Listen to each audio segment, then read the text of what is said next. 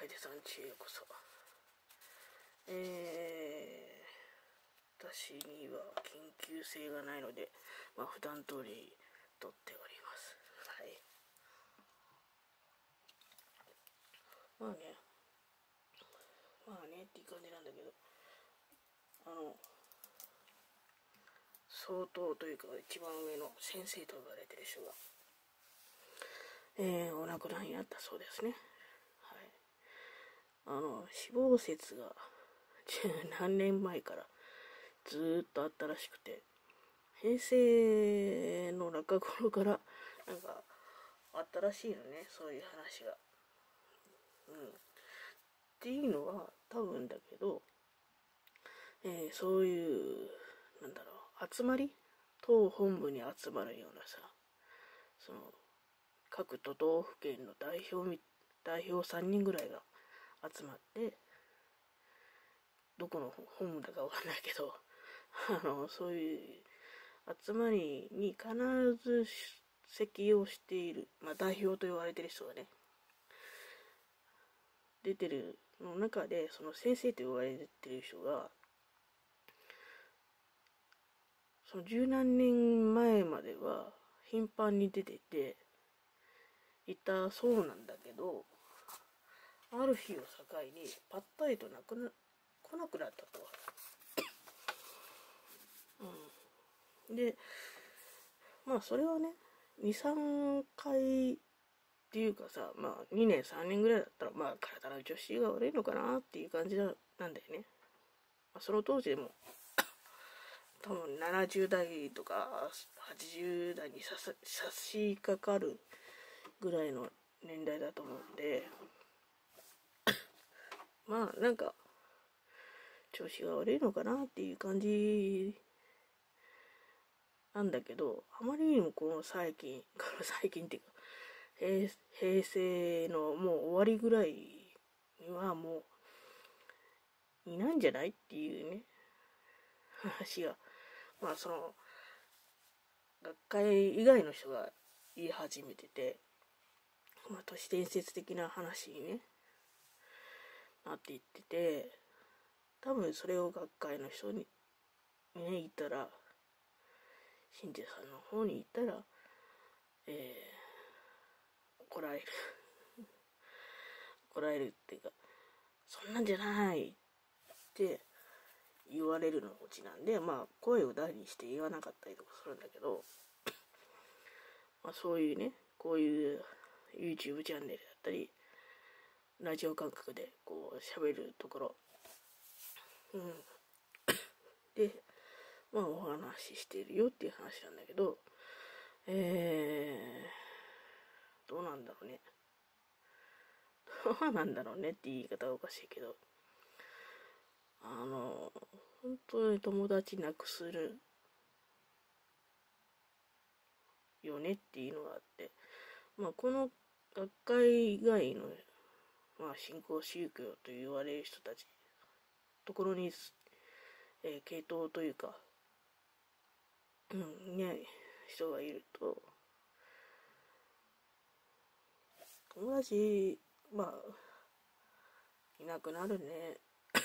うん。あの、なんだっけ、大川隆法さんのところの、えー、信者さん、知り合いにはいないけど、あの、ここのね、ここの、多分お父さんお母さんも、その系統なんでしょう。同世代の子がいて、もうやっぱり、えー、そのところに、まあ、通い詰めてるみたいな感じで、まあもちろんその、高校生ぐらいだ。だからあんまりそういうことは言わないで、関係性ができた上で、まあ、卒業した後ぐらいに電話で来て あのお父さんお母さんによろしくねって、まるまる島によろしくねっていうことを言われて、ああ、わかりました、つって。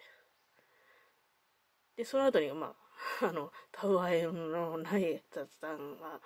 まあ、4、5分あったりとかするんだけど、まあ、それどころじゃないね。本当に、そういうところじゃの話じゃないっていう話で。まあ、伝えてはないですよ。うちの親にね。うん、ただ、その、選挙前になると、選挙前の何時か前になると、A ちゃんから電話が来るから、ああ、多分そうだなんだなっていうのは、あると思う。そういう子なんだなっていうのが分かってるはず。あの、すごくそんな鈍感なね、人じゃない限り。うん。ねえ、どうなんだろうね。その、友達にも今つながってるかっていうとつながってないので、まあ、どういう状況なのか、どういう内部の方でね、どういう感じになってるのかっていうのは全然分かってないんだけど、で、同じね、団地の人にいるんですよ。一応公表してる人がえー、2世代いて、もしかしたら他の党のところにもいるかもしれないんですけど、なんとも言えないんだけどね。で、全然、全然話が出てこない。うん。うん。なんか、同じ党ではないので、えー、その党の前に通るとか、